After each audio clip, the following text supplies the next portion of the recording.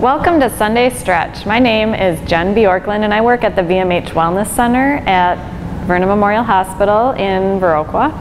And today I'm going to go through a couple of stretches with you using elastic tubing. It's really a, a great tool. I use it quite often with um, my classes when we're um, finishing up our um, exercises just at the end of class to stretch out our um, different areas. So First one I'm going to show you is a chest um, stretch. So um, you start with a band out in front, hands in the handles, and just bring the band up above your head and let your arms fall back just until you start feeling a stretch in your chest area. And as you do this, it's nice to kind of breathe in as you let your arms fall back and just really feel the opening in your chest. And you can also um, just focus a little bit more on the right side if you bend to your left.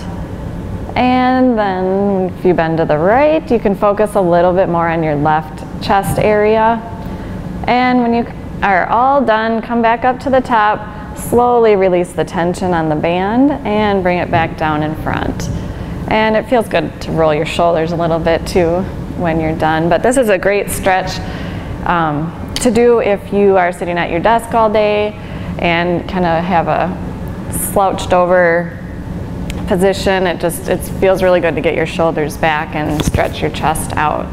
So um, that's one. And um, one other one that I like to do is just to bring the band up straight above your head and just lean over to the left, pulling down on the bottom band and then you'll get a nice stretch on the right side of your waist.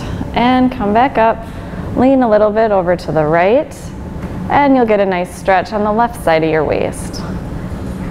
And come back up to the front. Slowly let the band come back down.